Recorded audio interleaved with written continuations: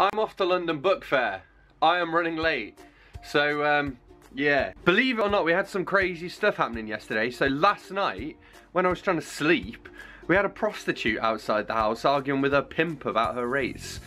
So, scaring the cat. And they kept going till about 2 a.m. So I overslept a bit this morning, so I'm running late. But I'm off to London Book Fair, so let's go. So the actual travel to Book Fair was kind of a pain. I had to go from where I live in High Wycombe into London, all the way up to North London to come back down again to Kensington Olympia. So this is the first thing I saw as I kind of walked through the door. It's actually my second year going along to Book Fair.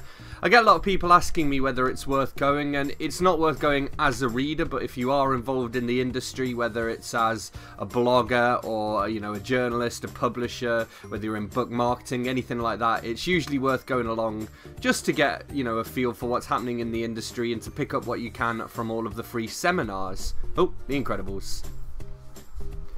So this year's market focus at the London Book Fair was the Baltic countries, and obviously Latvia is one of those Baltic countries. So while I was there, I went along to visit the Latvia stand and to meet up with the friends that I made while I was there. There's Penguin Random House. I mean, all of the publishers really have got a presence here. From, you know, even things like the AA who publish like roadmaps and things like that have got a presence here. A lot of the books that you're seeing at the moment are books that I deliberately kind of filmed because I wanted to remember them and check them out myself. I was actually going around and learning as much as I could about the various different bits of translated fiction from, you know, Russian to Maltese, for example. There's Indonesia there. And there's going to be a little bit of a haul at the end of this video where I show you some more of the things that I brought home with me. Here's the Poets Corner, there was a little coffee shop near there as well. So this was kind of my default place to go when I needed to, to have a sit down. This is the new title showcase. I think you actually pay to get your books put on that showcase. So I don't think you actually get there on merit, so I didn't pay too much attention to those, but I think it's just nice to go around and to see all of the different books, like the Wordsworth classics there as well and it's interesting because they all share their um, you know their their their base value rather than their RRP. So you see what you know bookshops actually pay for the books that they get in, and it isn't very much. But I suppose they add a lot to it to you know cover their overheads and that sort of thing. So this is actually on one of the upper floors. There are kind of there's kind of one big room downstairs, and then there's a big upstairs bit, and then there's kind of a second room as well. It's absolutely massive. It's hard really to overstate how big London Book Fair is. But that's what makes it so great, you know, you can spend the whole day there and at the end of the day you've just about finished seeing everything. And you can actually go back for three days and, you know, carry on networking, go to some of the educational sessions and that sort of thing. What we're looking at the moment are some of the kind of, this is the book depot, some of the different providers of, you know, cheap paperbacks, cheap hardbacks. So this is where you'll go if you're a bookseller or a bookshop and you want to kind of make connections for potential suppliers. So for example, this place got a bunch of DC comics and also Marvel as well. Here we have Author's Corner, Nosy Crow. So there is of course a big children's literature section and that's where we're walking around at the moment. And now all of this art that we're looking at here is also created by the Baltics as well. So those wolves on the left are Reinis Petersons, who actually drew me a fridge magnet while I was in Latvia. This would be a sort of promotional area for a new book that Bill Clinton has written with James Patterson apparently. So I managed to get my photo taken in the Oval Office. Here you go, this is the smaller of the two rooms that you're looking at as well. Just to give you a good idea of that. Of course, Nora Ecksteiner is one of the authors of the fair. There's Donald Trump playing a little bit golf. And he was walking around with kind of the Secret Service behind him as well. Here we go. And you'll notice just then as well the uh, Irish stand. So I went along there and was talking about the Irish Readathon that happened recently. And uh, Leanne Rose and Fred Weasley Died Laughing and all the awesome channels here on BookTube who've been making that happen. This is the Walking Dead bar. So again, we're on the top at the moment, walking around the outside. And this is the opening of the show. It's my great pleasure to introduce a wonderful Latvian duet uh, are currently studying here at, in London at the Royal Academy of Music. Both across the United Kingdom, Europe Asia, participating in numerous music festivals and cultural events from the Royal Festival, to the Wigmore Hall, the Barbican Centre and many more. Would you please give a very warm welcome to cellist Margarita Balanas and violinist Robert Balanas.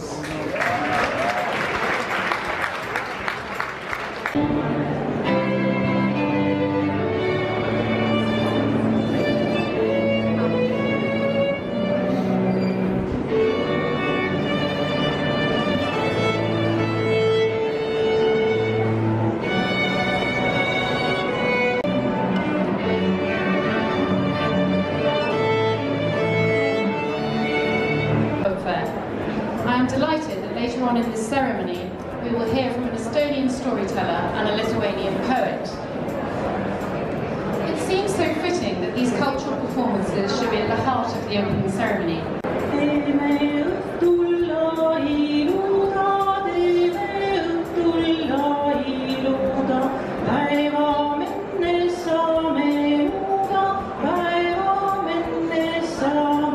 I feel very privileged uh, to say uh, that we consider uh, the United Kingdom as our strong partner of um, publishing. And in turn, uh, and with return. So after that, really, it was just a case of continuing to wander around and to pick up any of the bits that I missed. I like to go around all the different stands and, you know, get brochures where I'm interested in that sort of thing. Share business cards so they can get in touch if they have any books that they want me to review. And then after that, I went for a cheeky pint with a chap you might recognise. It's, of course, Scott from Bookaxe here on BookTube and we talked about all sorts of things from Bookaxe as a platform to what we think of BookTube, the new partner changes, all of this stuff, and it was just generally lovely. Okay, so as you can see, I am back from London Book Fair. I thought I'd sort of top and tail this video with a little bit of like a mini haul, showing off some of the bits and bobs that I got while I was there. Some of them are specifically books, so that will go in my end of the month haul as well, but also it's here. This is EUPL, nine prize-winning authors from Estonia, Latvia and Lithuania. So this is the European Union Prize for Literature. And yeah, we've got, again, nine different sort of shorts and whatnot in here from the different countries. So I'm looking forward to reading that one. Some random stuff. Not all of these are books. This is the New York Review of Books. I should point out all the stuff that I'm mentioning here from London Book Fair was free as well. So, you know, it helps to pay for the uh, cost of the ticket, if nothing else. And it's nice to see people that, you know. We got uh, Publishing Perspectives here, an issue of that. This is the new title Showcase magazine. So this is, from what I understand, actually, people basically pay to get their books listed in this, and there there was a wall of all of these books, so you could look at them, and they weren't very good. It was quite clearly like indie and self-published authors who just spunked their entire marketing budget up the wall to get them in this showcase. This is books from Slovakia. So um, as I was going around and seeing people doing translated fiction and non-fiction and poetry, to be honest, the whole lot. But as I was going around and seeing people, I was trying to grab as many of the little booklets as I could for the different translated fictions. This is um, Self-Made Hero, so they are a small publisher that publishes mostly like graphic novels, quite often with like narratives. So I've read one of theirs that was a graphic novel about uh, Agatha Christie when she went missing and what happened to her in this time and stuff. And uh, yeah, so I just thought I'd grab their their magazine. This is from the Latvian stand, so Hunt Down the Introverts and events calendar, so all the different stuff that is going on. Because they're doing lots of events in London, like gigs and all this kind of stuff. So this is a little program of that. In fact, here we do have an invitation to a gig, a concert by indie rock band Sigma, who I saw in Riga. So they played in London and they actually they changed the songs so they sang them in English instead of Latvian, which is quite impressive, I would say. Yeah, all of the song lyrics from their new album are written by well-known Latvian poets. And um, yeah, I didn't go to see them just because I have seen them already, and they are in my visiting Riga video, which is down there somewhere. Now I got this Crossings Newcastle Poetry Festival, 2nd to the 5th of May 2018. Just thought it'd be nice to make it. I don't know if I will or not. Uh, Icon Books, I quite liked from their stand. They had these like practical guys. I just like I like I quite like the aesthetics of them for some reason. Can't really see. It's not in focus, but anyway. What else did I get? This is uh, the Baltics Riveter, Riveting Baltics Writing, edition 4. So I believe, yep, this is like, you know, it's like a literary magazine basically for Baltic literature. I got these little things which I'm going to put on the wall. So this is by, uh, oh, in fact, this is by Reinis Petersons, who is the guy who drew me a fridge magnet. And uh, he's uh, he's like Latvia's bas basically he's Latvia's only full-time illustrator, if that makes sense.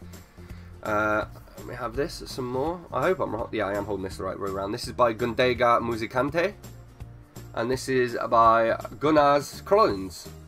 So I just thought these were cool little postcards. I'll probably put them up on my wall. All Latvian illustrators there.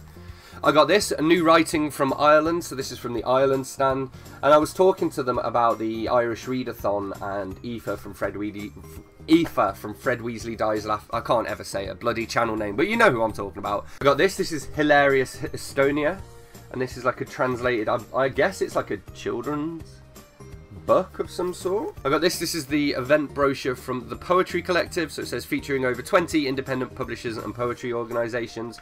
I actually met while I was there the lady who is, she, well, a lady who works for the Forward Arts Foundation, and um, basically I've read a few of the Forward Arts books because I ran, I won a competition, a National Poetry Day competition, and um, I won a bunch of their books. But I also was like chatting to her about this year's Forward Prize because I happen to know that Jen Campbell is one of the judges for it.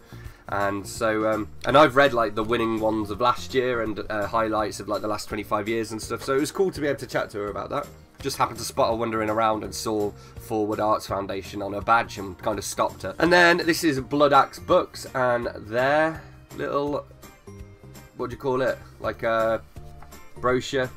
this is uh, Books from Iceland 2018. So literally the only Icelandic author I know of is uh, Sjón. And so I was chatting to the late, the Icelandic lady about Sjón, but I thought I'd get this and try and find some more.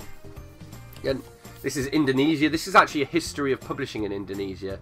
So this is about like, yeah, contribution of GDP from various creative economy subsectors there. Lots of charts, uh, Indonesian publishing statistics. I got Anete Konste and Reinis Petersons, The Life of I, and I is an introverted Latvian writer. So it's basically a set of like comic strips. So for example, he's realised that extreme weather conditions mean that he can go out walking and is less likely to bump into people. And what was funny is actually they had little cartoon strips of this guy in the bathrooms as well. But it was above the urinals, so I couldn't really take a photo of it because there were like guys walking around. And also, what was bothering me actually at London Book Fair was the sheer number of gentlemen who were going into the urinals and they were like standing at the urinals like this going hands free and typing on their phone and I'm like why are like like there was like because it was busy, it was heaving with people there, and there was like eight people all standing in a row, and I'm the only one who's actually holding my pee. I was like, what is going on? I've gone into the Twilight Zone. And then I got Tangerine Sky, Poems from Malta, edited by Terence Portelli. And basically, they, they were giving these out for free at the Malta stand. They had both poems and stories. But I didn't want to, you know, take the piss by taking all of their stuff, so I, I thought I'll grab some poems and um, I think poems are probably the harder one to get people to pick up as well, but I, as you know if you watch my channel regularly, I like poetry.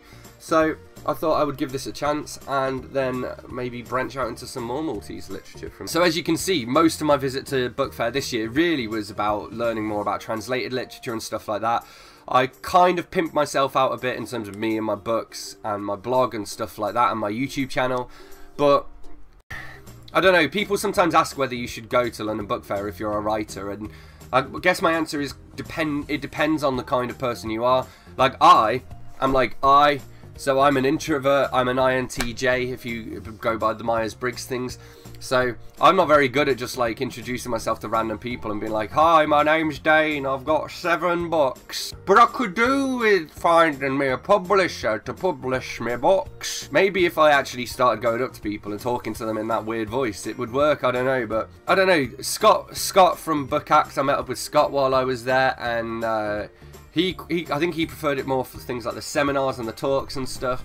I personally didn't really get much of a chance to see some. I saw one or two, but mostly for me, I like going along just to see what all the different publishers are doing. Sometimes, again, I can go up to people and be like, oh, you contacted me through my blog and, you know, asked me to review this. Or, for example, I went up and got chatting to somebody from, I can't remember the press name, it was, it was a Welsh publisher anyway. And I got speaking to this lady because I'd pre-ordered Dogtown by Luīze Pastore, which is a Latvian author. And so I didn't realise that the press that published it was a Welsh press. I thought I knew they were British, but I didn't know they were Welsh for some reason. So then we started chatting about that book, and she was like, "Oh well, I can like send you a copy of it if you want." And I'm like, "Well." You know, I've already got it on pre-order. I was already buying it. I think I'd rather just buy it and support the Latvian author and, and, and the smaller press as well. So, but it's just nice to wander around and speak to people and you know, get a feel for what's happening. I, I do think it's one of those where you would only really go all three days if you were like, if you were an exhibitor, really. I'm exhausted. I have blisters all over my feet. Like, I'm just tired. So, and it's still on. It's literally happening in London right now while I'm sitting here and talking to the camera. But, um, yeah, no, overall it was very good. So I thought I would just add this little bit of waffle and wholeness to the end of the, uh, the, the video of me going around. So yeah. So anyway, that's it. Hopefully you've enjoyed this video and you've enjoyed my me taking you along with me to London Book Fair. Please do hit that subscribe button if you're new here. Hit that like button if you've enjoyed this video. Drop me a comment to let me know if you've been to London Book Fair and if not, if you plan to go one day in the future. And I will see you soon for another bookish video. Thanks a lot. Bye-bye. So these are some of the photos that I took as well. I thought I might as well share those as I think that worked quite well in my Latvian video. But yeah, had a really good time at London Book Fair and I would recommend checking it out if you get the chance and you can afford the 50 odd pound uh, ticket fee. Catch you later.